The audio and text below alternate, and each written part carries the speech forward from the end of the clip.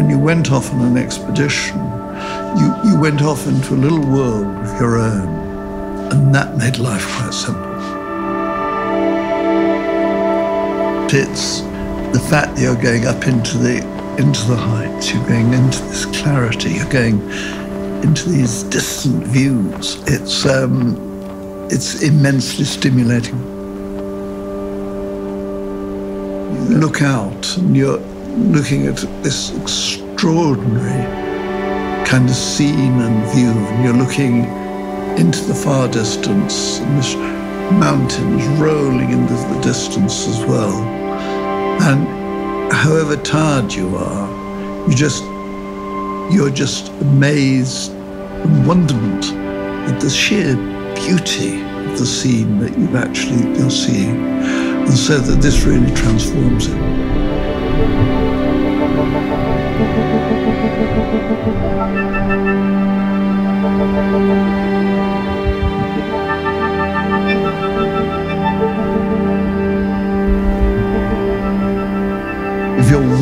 In yourself, crisp cold is actually a good feel to it. And everything is very clear as well.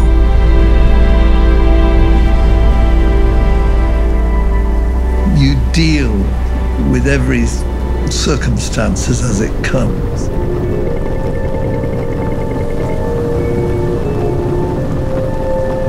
If you're in a tent, it's bloody horrible because the tent is flapping around. There's a constant risk of it blowing down.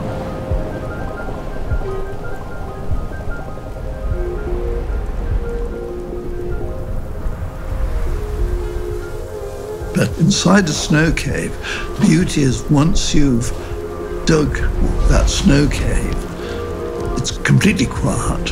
You feel completely secure. You can't hear the wind. And so you can be completely relaxed within a snow cave.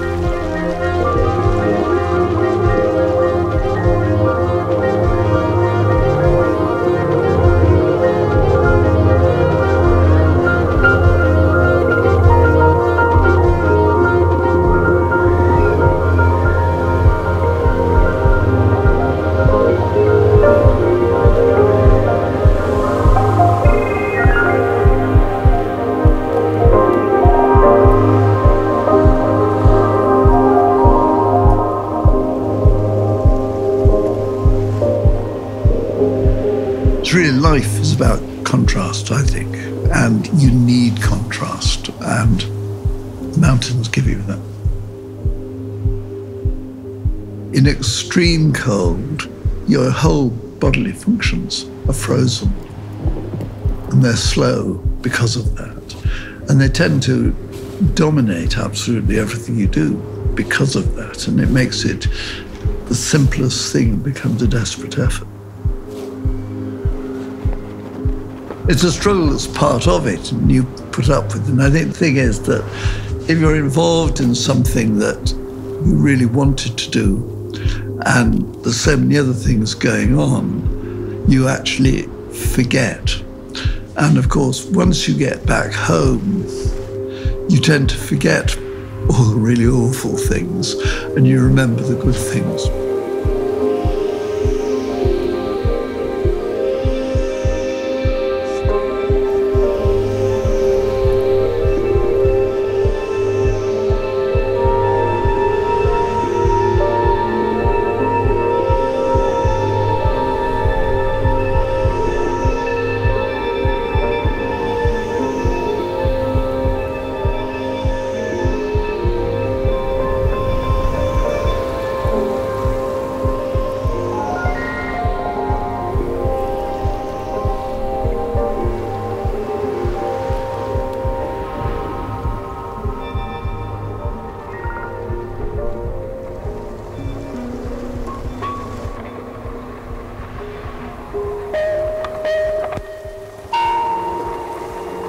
if you're in the wilds and you're at altitude, the cold actually bites into you with a greater kind of ferocity. And that is something that you never forget.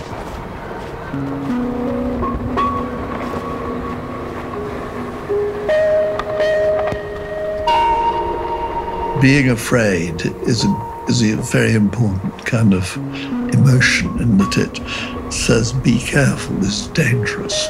But then you've got to know how to control that fear. The, the danger actually sharpens you up.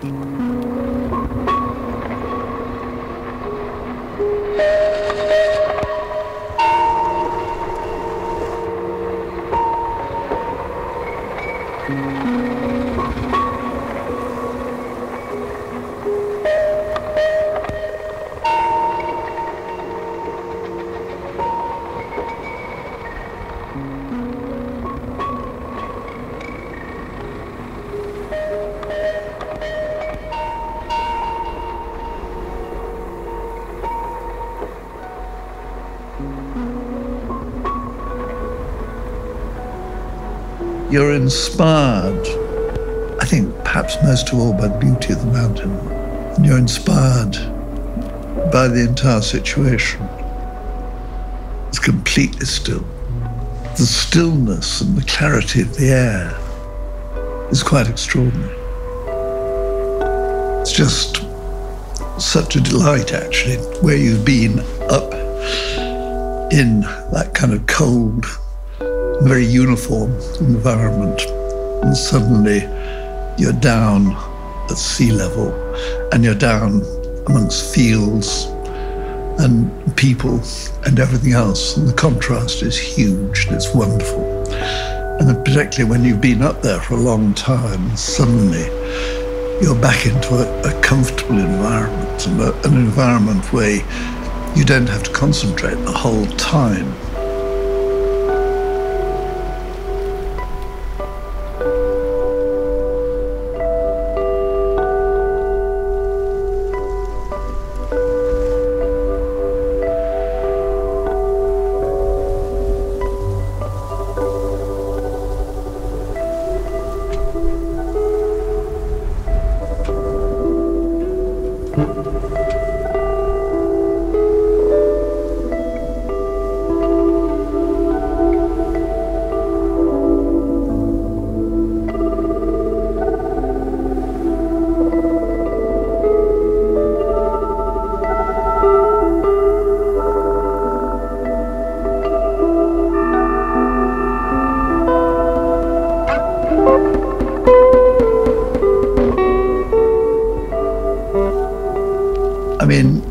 Life is a process of learning. And if life is easy, it's actually flat and simple and easy, you don't learn anything.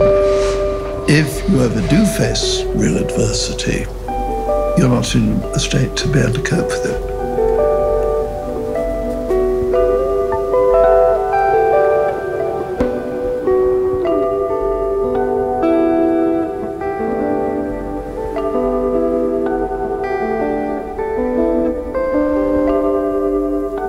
You're never thrilled, life is grey, it's flat. Whereas if you're thrilled, if you're thrilled by things that are around you, you then, you know, you're going to function that much better. And your, your, your heart lifts, you you just kind of almost rise into the air. And I, I think that, that that's what's so important.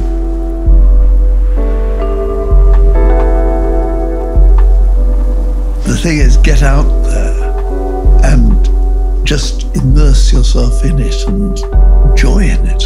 And if you can do that, your life's going to be richer.